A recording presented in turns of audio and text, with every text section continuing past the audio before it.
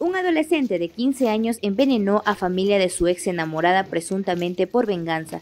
El menor de iniciales, AYFZ, pretendía huir de la justicia, cuando el joven habría secuestrado a su ex enamorada Marjorie y la habría amenazado con un cuchillo para no contar lo sucedido. Al tomar conocimiento de los hechos, los familiares pusieron la denuncia en la comisaría de Concepción y cuando salieron de su domicilio, el menor habría ingresado a su casa de su ex enamorada asesinando a la abuela de su expareja, proporcionándole un corte en la yugular.